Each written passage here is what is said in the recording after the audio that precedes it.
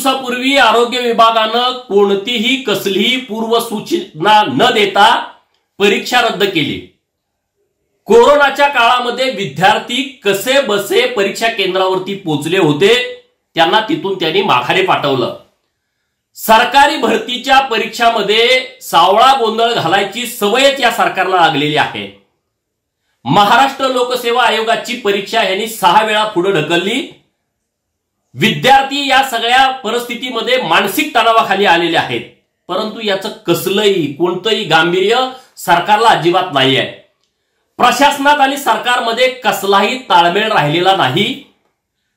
पुन्हा नव्यानं होणाऱ्या आरोग्य विभागाच्या भरतीमध्ये सरकारनं पुन्हा गोंधळ घातलाय.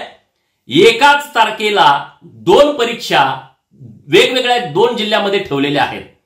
म्हणजे विद्यार्थ्यांना परीक्षा देण्याच्या अधिकारापासून तुम्ही वंचित ठेवताय. विद्यार्थ्यांचा अधिकार तुम्ही नाकारताय. त्यांची संधी तुम्ही नाकारताय. हे वसुली सरकार मुळात नोकर भरती करत नाही आणि केलीच तर त्यामध्ये सावळा गोंधळ घालताय. ह्यांच्या गलथान कारभारामुळं ह्यांच्या नाकर्तेपणामुळं स्वप्नील लोणकर सारख्या विद्यार्थ्यानं आत्महत्या केली.